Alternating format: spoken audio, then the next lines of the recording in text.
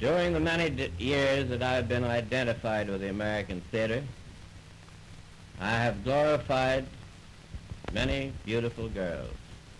I take great pleasure in presenting Miss Grace Moore of the present Follies, whom I consider the most beautiful brunette in the world today. I have often been asked why I have more blondes than brunettes in my shows. The truth is there are more beautiful blondes in the world than there are brunettes.